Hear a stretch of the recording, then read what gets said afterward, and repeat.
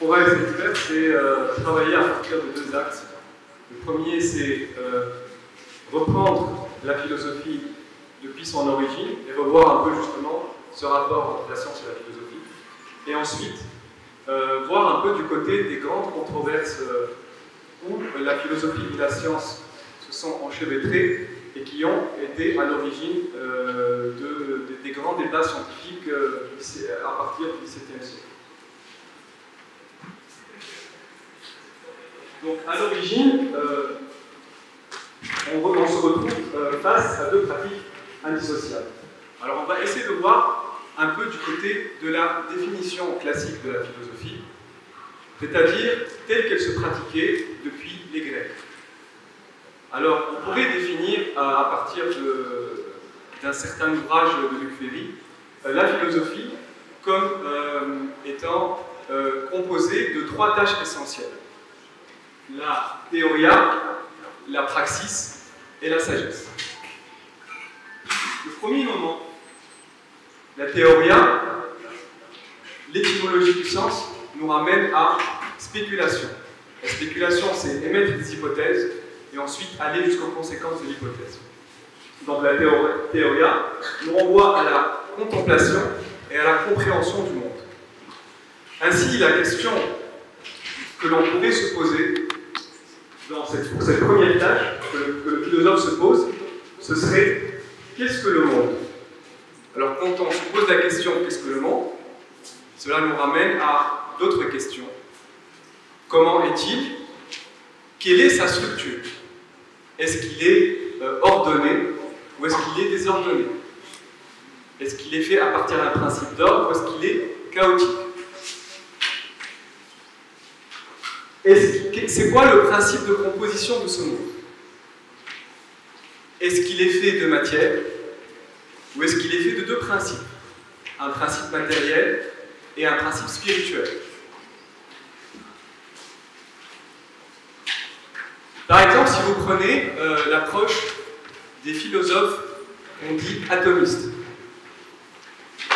notamment Épicure, qui est un philosophe du IVe siècle. L'atomisme consiste à expliquer le monde à partir d'un principe, qui est la matière. C'est pour ça que les, atomistes sont dits des philosophes matérialistes. Ensuite, donc c'est quoi l'atomisme? L'atomisme, c'est de se dire que l'univers, c'est un ensemble d'atomes qui se déplacent dans le vide. Et ces atomes vont constituer des agencements ils vont faire des corps, et ces corps vont aussi se défaire, et c'est le mouvement, c'est ce mouvement qui va se reproduire à l'infini. Par ailleurs aussi, quand on se pose la question, qu'est-ce que le monde Quelle est sa structure À partir de quel principe il est fait On pourrait aussi trouver euh, une autre manière de, une autre approche que, la, que celle que l'approche matérialiste. L'approche dualiste consiste à euh, expliquer le monde à partir de deux principes. Donc il y a la matière, certes, mais il y a aussi un autre principe immatériel, c'est un principe spirituel. Si nous prenons l'approche de Platon, par exemple, il nous dit qu'il y a un monde sensible, mais que derrière ce monde sensible, il y a un monde intelligible auquel on accède par l'esprit et par la raison. Cela nous ramène aussi à se poser la question quelles sont les lois de ce monde? Est-ce que, le monde, est-ce que l'univers obéit à des lois? Si vous prenez par exemple Thalès de Milet, qui, euh, est célèbre justement pour euh, le théorème de Thalès, il va expliquer le monde comme étant régi par des lois universelles. Et d'ailleurs, il va être l'un des premiers à mettre en évidence euh, le rôle de l'électricité, notamment à partir de certains matériaux comme les propriétés de l'ambre ou de la pierre de magnésie. La question qu'est-ce que le monde nous ramène aussi à une autre question c'est la question qui porte sur l'homme. Alors si on essaie de comprendre c'est quoi le monde, cela implique aussi qu'on essaie de comprendre c'est quoi l'homme, puisque le philosophe, c'est un homme, c'est un être humain qui vit parmi les hommes. Donc si on s'interroge sur l'homme, on va essayer de s'interroger sur quoi? On va s'interroger sur ses instincts, ses désirs, mais aussi ses autres facultés, telles que la raison, l'imagination et les sens. La question sur l'homme implique aussi de s'interroger sur sa condition d'être mortel. Elle implique aussi de s'interroger sur la vie dans la cité, sur les lois sociales, comment l'homme vit en société. Et enfin, une question essentielle, si le philosophe s'interroge sur le monde, et si le philosophe s'interroge sur l'homme, alors il doit aussi s'interroger sur les conditions qui lui permettent de connaître et de comprendre le monde. C'est-à-dire qu'il doit s'interroger sur les facultés. Autrement dit, quels sont les moyens qui nous permettent de connaître Les sens, la raison, l'imagination, les rapports entre les sens et l'imagination, etc. À partir de la première tâche, on va accéder à une deuxième tâche qui est la praxis. Étymologiquement, praxis nous renvoie à l'action. Et quand on dit action, il s'agit aussi euh, non pas forcément de l'action directe, mais encore d'une théorie de l'action. Alors c'est quoi la praxis? La praxis consiste à répondre à la question comment bien agir dans ce monde? Comment bien se comporter? Donc c'est une question qui porte sur la morale et sur l'éthique. Si vous prenez la définition de l'éthos, l'éthos ça concerne le caractère, la manière d'être et les habitudes d'une personne. Ainsi l'éthique nous renvoie au caractère et aux vertus. Donc, première tâche, une question qui porte sur le savoir, sur la connaissance. Deuxième tâche, qui porte sur la théorie de l'action. Ce qui est essentiel ici, dans cette définition de la philosophie, c'est qu'il y a un rapport entre les deux tâches. Pourquoi? Parce que notre compréhension du monde notre compréhension de l'homme va nous donner, va impliquer certaines théories de l'action morale ou de la bonne action. Enfin, la relation entre la première et la deuxième tâche nous renvoie à la finalité de la philosophie qui est la sagesse. La sagesse, c'est une relation justement entre la théoria et l'éthos, c'est-à-dire une cohérence entre notre connaissance, entre le savoir et entre l'éthique. Donc, la sagesse, il ne s'agit pas du tout de connaître, de savoir plein de choses, mais il s'agit de trouver un équilibre et une cohérence entre notre connaissance et notre manière d'agir, afin de trouver notre place dans ce monde, euh, notre, notre bonheur par rapport à nous-mêmes, par rapport aux autres et par rapport à la nature. Donc, à partir de cette définition, on voit bien que, à l'origine, il y a un rapport essentiel entre la philosophie et la science. Ce sont des notions pratiquement indissociables. Et actuellement, si on prend euh, la science, même si euh, on ne fait pas à côté de philosophie, on voit aussi que c'est très important d'associer la science à la question d'éthique. Si vous prenez par exemple les technologies, la question de la technologie est toujours indissociable de la question morale ou de la question éthique. Le problème de l'usage. Comment en faire un bon usage, comment éviter les mauvais usages de la technologie? Donc, à partir de là, on va essayer de voir du côté euh, du XVIIe siècle. À partir du XVIIe siècle, il y a eu de grands débats qui sont à la fois philosophiques et à la fois scientifiques et qui ont contribué à l'édification du savoir moderne. Alors, on va essayer de voir justement du côté de Descartes, de Newton et de Kant. Alors, au XVIIe siècle, on peut euh, résumer les choses en disant qu'il y a, euh, ces débats-là ont été engagés à partir d'un ouvrage essentiel qui est l'ouvrage de Descartes, Descartes, philosophe rationaliste du XVIIe siècle. Cet ouvrage, c'est le discours de la méthode. Alors, justement, ce qui est intéressant dans cet ouvrage, qui est sous-titré euh, Pour bien conduire sa raison et chercher la vérité dans les sciences, qui est un texte philosophique publié en 1637, c'est que dans les premières éditions, cet ouvrage n'est pas un ouvrage indépendant de philosophie. C'est un ouvrage qui a été, qui servait d'introduction à trois traités scientifiques mettant en application euh, la méthode de Descartes. Et ces traités sont la dioptrie, c'est-à-dire euh, l'optique, les météores et la géométrie.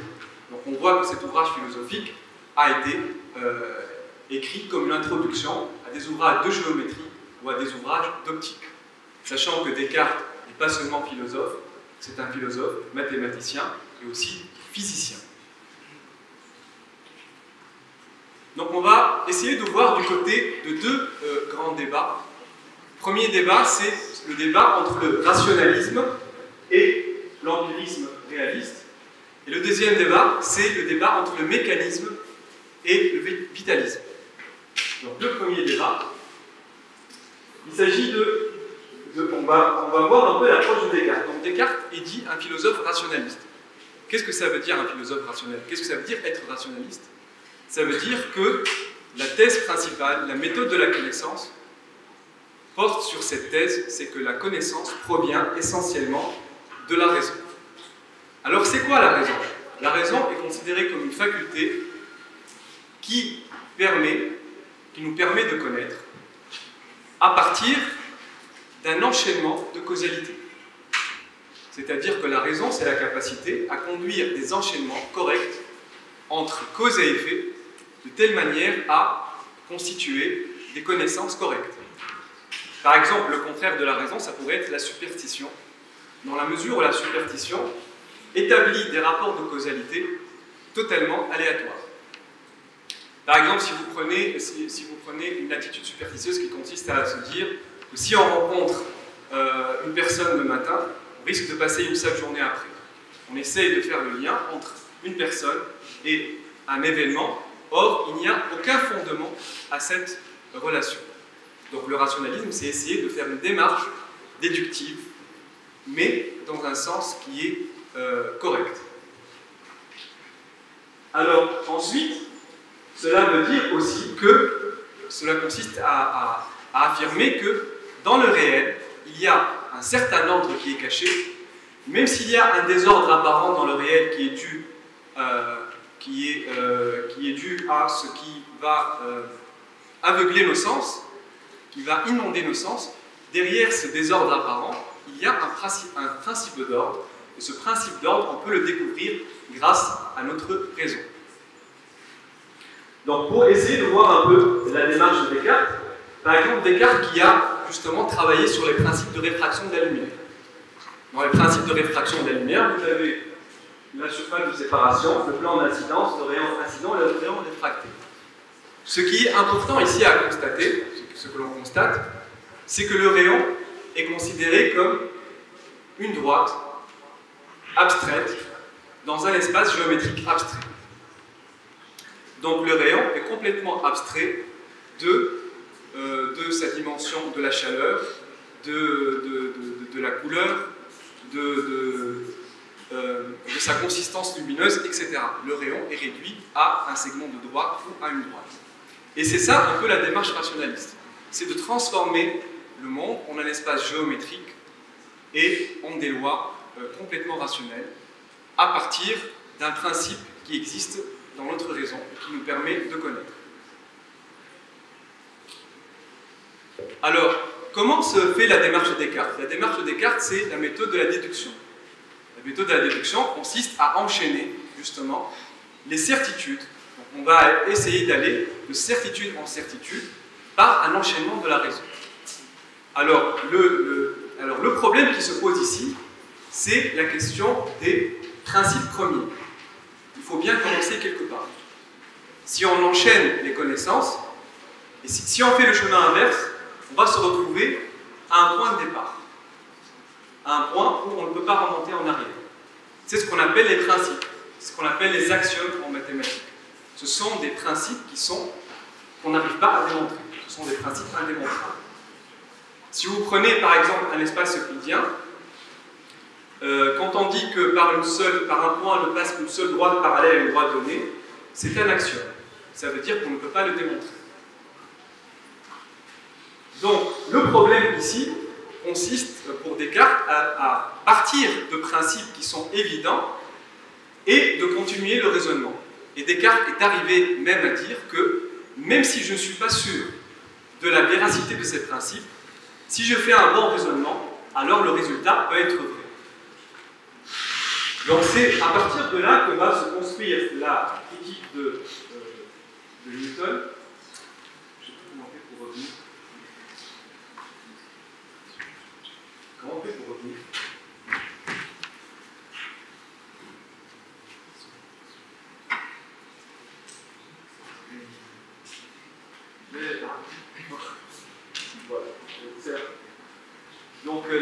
critique de Newton consiste à, qui a les principes de la philosophie expérimentale, consiste à se dire que qu'il faut faire une différence entre les hypothèses et les principes.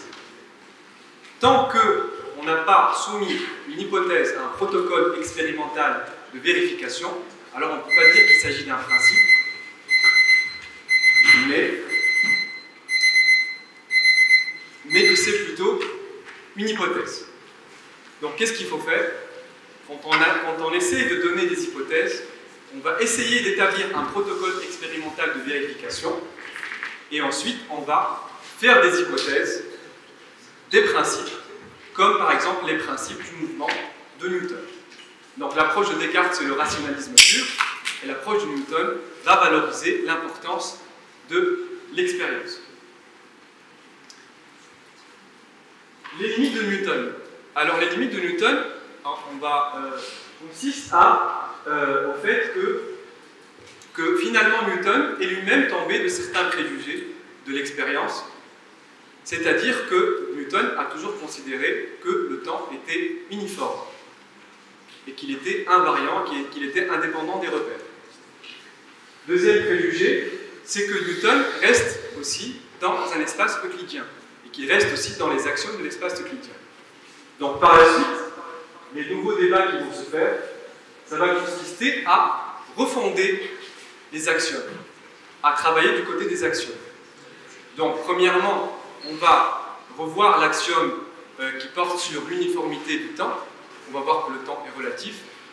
Par ailleurs aussi, on va travailler sur de nouveaux espaces non euclidiens ce qui va donner de nouveaux axiomes et qui vont donner de nouveaux raisonnements et de nouvelles théories scientifiques, notamment la relativité restreinte, la relativité générale.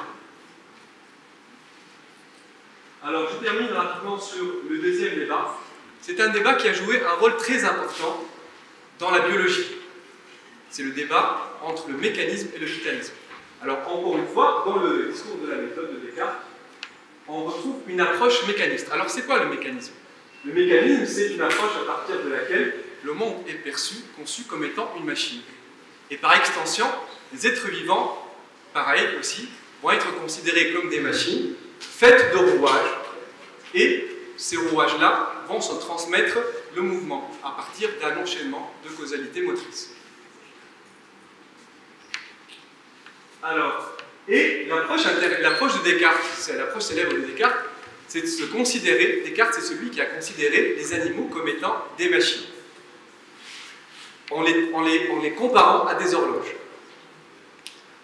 Par contre, euh, quand il va traiter de l'homme, il va considérer que l'homme possède un corps, et ce corps fonctionne exactement comme une machine, exactement comme les animaux, mais qu'il a une pensée, et que cette pensée n'est pas du tout, échappe complètement au mécanisme. Ce qui est intéressant dans ces débats, c'est que petit à petit, on va tout intégrer dans le mécanisme. Parce que si vous prenez l'approche de Kant, il va considérer que la reproduction, la vie comme étant un principe de reproduction, de régénération, échappe au mécanisme. Alors que dans la suite, et on peut terminer sur ça, premièrement, vous avez la maîtrise et ensuite la science moderne qui va expliquer l'âme, c'est-à-dire la pensée, à partir d'un fonctionnement totalement matérialiste et mécaniste. Si vous prenez par exemple ce, euh, ce schéma, on explique la pensée et l'âme à partir de quoi? À partir du système nerveux, à partir des neurones, à partir d'un mouvement, d'un déplacement d'ions, à partir de l'électricité, etc. Donc on n'est plus dans un, euh, on est totalement dans un principe mécaniste pour expliquer l'âme et la pensée. Et même aussi la reproduction de la vie et même la régénération de la vie va petit à petit être expliquée par un principe mécaniste. On va voir par exemple du côté de Jacques Monod, qui a eu le prix Nobel pour, euh, pour la découverte de l'ARN, qui dit euh, comme on le voit, ce système par ses propriétés, par son fonctionnement d'horlogerie microscopique qui établit entre ADN et protéines, comme aussi entre organismes et milieux, des relations à sens unique, il est foncièrement cartésien et non hegelien. La cellule est bien une machine. Donc même la cellule, finalement, qui n'arrivait pas, qui échappait au principe du mécanisme, va être aussi considérée comme un mécanisme. Donc, en conclusion, euh, cette démarche-là, elle est dans, l'intention de renouer les contacts entre la philosophie et les différents champs du savoir, parce que j'estime je, que, ça va être euh, un enjeu essentiel justement pour euh, comprendre, à, la fois pour approfondir la compréhension du savoir, mais aussi pour produire de la connaissance. Et je vous remercie.